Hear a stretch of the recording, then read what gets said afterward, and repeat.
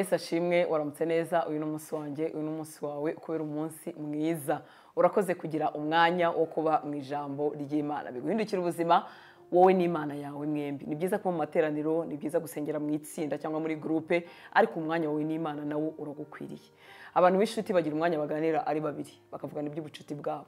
Icyampa imana ikakubera inshuti. Ugaharanira gukora ibyo ishima ibyo ikunda. Niba uri muri kirisito yesu. Ubucuti buhera mu kuba muri kirisito yesu mu kumukingurira imitima yacu. Akatubera umwami akadukiza icyaha tugahabwa ubugingo buhoraho. Hanyuma nyuma yo gukizwa igikurikiraho ni ukwitoza kuba inshuti. Ubuzima bwose tuba dusigaje ni ukwitoza kumubera inshuti. Inshuti rero ntizibabazanya. We ntashobora kutubabaza ntahemuka. Ahubwo ni wowe nanjye tugomba guharanira kutamubabaza gukora ibyo ashima.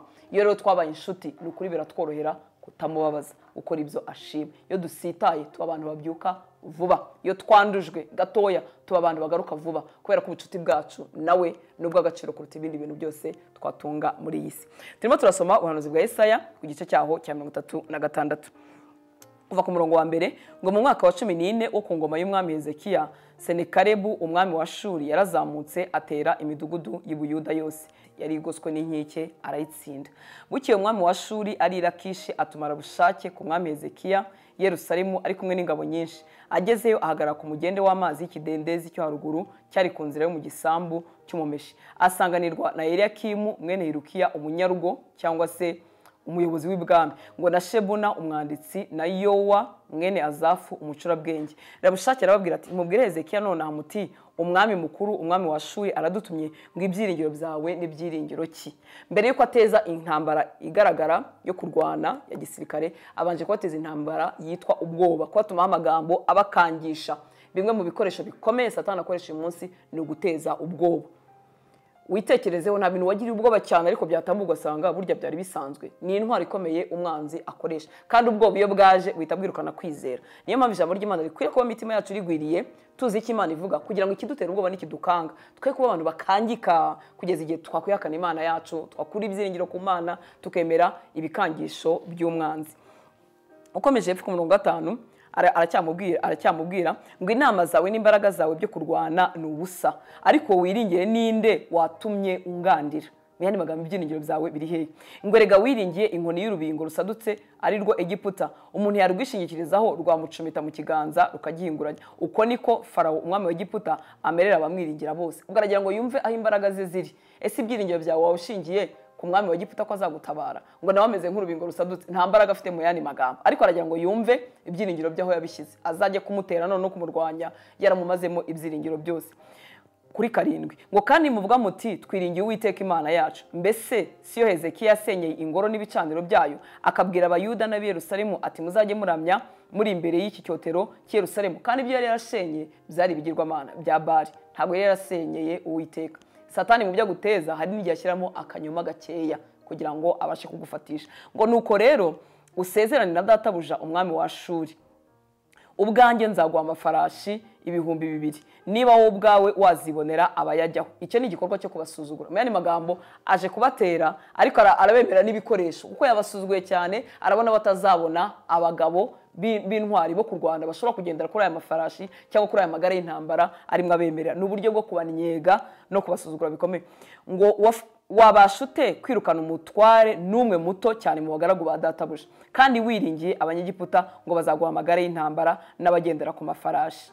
Ku murongo wa cumi. Ngo mbese nzamutse gutera aha hantu nkaharimbura ntabitegetswe n'uwiteka? Uwiteka ni we wambwiye ati zamuka utere icyo gihugu kirimbure. Mu yandi magambo yamubajije ese wiringiye giputa nta kizakumarira imeze nk'urubingo rusadutse. Kandi ntabwo ijya itabara abayihungiyeho ngo ibatabare bihamye. Arongera aramubwira ngo niba ari n'uwiteka wiringiye ni we wakoreye nabi. Kandi satani hari n'igihe yakurega ibintu by'ukuri akakurega n'ibintu bya kera. Akavuga ati imana urimo usenga imana urimo uhamagara uyu munsi si yo wakoreye ibi n'ibi n'ibi. Nawe urasenga warabaye uyu n'uyu n'uyu warabaye mu byaha ibi n'ibi n'ibi. Kandi aho wihaniye satani ntabwo yari ahari ariko arimo aramutera ubwoba. Amubwira ngo niba ari n'uwiteka uwiringiye ni we wasenyeye ni we wasenyeye ibicaniro ni we wasenyeye nawe ntabwo azagutabara. Ariko arongera aramubwira nanone ikintu giteye ubwoba. Ariko ngo si ubundi nzamutse kugutera? Atari uwiteka wabimbwiye. Ni uwiteka wambwiye ngo nze gutere. Ahangaha rero imana yajyaga ikoresha ashuri n'ubundi guhana ubwoko bwayo. Ariko ahangaha igihe cyo guhanwa kwa shuri cyari kigeze. Ntabwo ari uwiteka wari wabahagurukije ngo bajye gutera ubwoko bwe. Ahubwo noneho uwiteka agiye kubaciraho iteka nabo ubwabo. Bagiye kugirirwa nabi. Ku murongo wa cumi na rimwe ngo eliyakimu na shebuna na yowa basubiza arabushake urumva bagize ubwoba. Basubiza arabushake bati turakwinginze vugana n'abagaragu bawe mu runyaramaya. Kuko turwumva. Urunyaramaya ni rwo rurimi rwa politiki mu yandi magambo. Kuko turwumva. Ariko we kuvugana natwe mu ruyuda ngo abantu bari ku nkike babyumve. Ngo nuko rabushake arababwira ati mbese ugira ngo databuja yantumye kuri shobuja namwe kubabwira aya magambo? Ntimuzi ko yantumye kuri abo bicaye ku nkike kugira ngo barire amazirantoki barire umwanda wabo mu yandi magambo nanze kubisoma nk'uko byanditse. Barire umwanda wabo hamwe namwe. Amusabye ko bavuga mu rurimi abaturage batumva. Aramubwira ati weya umwami wacu umwami wa shuri ntabwo yantumye ku mwami gusa namwe abakorana n'umwami. Yantumye no kuri rubanda. Niyo mpamvu nibukomeze nkavuga mu rurimi abaturage bose bumva kugira ngo bose bashye ubwoba cyangwa se bahindukire bajye kwifatanya n'abateye bavuye muri ashuri. Arabasuzugura babwira ko arashaka ko bahinduka ubusa barya amazirantoki bagahinduka ubusa mu yandi magambo. Ngo maze rabushake arangurura ijwi rirenga mu rurimi rw'abayuda. None agiye kubwira abaturage. Ati nimwumve amagambo y'umwami mukuru umwami wa shuri uwo mwami arantumye ngo hezekiya ntabashuke kuko atazabasha kubakiza. Hezekiya ntabiringize uwiteka ababwira ati ni ukuri uwiteka azadukiza. Kandi ati uyu murwa ntuzahabwa umwami wa shuri kubera ko azi ibyiringiro bya hezekiya aho biri bugane aba yateguza abo baturage. Ngo hezekiya ntabashuke ngo abiringize uwiteka. Kuko uwiteka ntabwo azabatabara. Ngo mwe kumvira hezekiya kuko umwami wa shuri antumye ngo mwuzure nanjye musohoke mu nsange umuntu wese abone uko arya ku muzabibu we no ku mutini we n'uko anywa amazi yo mu iriba rye. Kugeza ubwo nzaza nkabajyana mu gihugu gihwanye n'icyanyu kirimo ingano na vino n'imitsima n'inzabibu. Mu yandi magambo arimo arashaka gutwara abaturage kugira ngo bakure ku mwami wabo. Hezekiya abasezeranye ibyiza abereka ko hezekiya nta mbaraga afite nta butabazi n'uwiteka abiringiza ntabwo afite amaboko yo kubatabara. Ngo mwirinde ko hezekiya abashuka ngo uwiteka azadukiza. Mbese hari indi mana mu mana z'abanyamahanga yigeze gukiza igihugu cyayo amaboko y'umwami wa shuri imana z'ihamati bagiye kubaha amateka yabo yo gutsinda. Ako niko satana ajya adutera mu bitekerezo. Akakwereka umuntu ufite ikibazo nk'icyawe nawe kitakunze akakwereka n'undi waciye muri situwasiyo nk'iyawe nawe byananiye akakwereka ko nta muntu wigeze utsinda. Ubaho reka nkubwire harimo abatsindwa harimo n'abatsinda. Hari abantu bafite ubuhamya n'amashimwe hari n'abantu bakubiswe hasi bananirwa kweguka. Ariko satani yaguteye akwereka abananiwe bose bose dore n'uriya byaramunaniye n'uriya yarasenye n'uriya yari yarize ariko uyu munsi ni umushomeri n'uriya yarwaye ya ndwara dore yaramuhitanye. Akakwereka abo yagiye akubita hasi mu yandi magambo. Ngo mwirinde ko hezekiya bashuka ngo uwiteka azadukiza. Mbese hari indi mana mu mana z'abanyamahanga yigeze gukiza igihugu cyayo amaboko y'umwami wa shuri ngo imana z'ihamati n'izarupadi zirihe ko twazitsinze. Imana z'zefaravayimu zirihe mbese zakije abisamariya amaboko yanjye ababwiye na bene wabo bisamariya bo mu bwami bw'amajyaruguru aracyabereka ko afite imbaraga rwose zo kubatsinda. Ikintu kiryoshye nuko mu isengesho ry'umwami hezekiya nawe yongera akagaruka kuri ibi ngibi. Akabwira uwiteka ko noneho wari imana itagereranywa n'ibi bigirwamana aba bami bashoboye.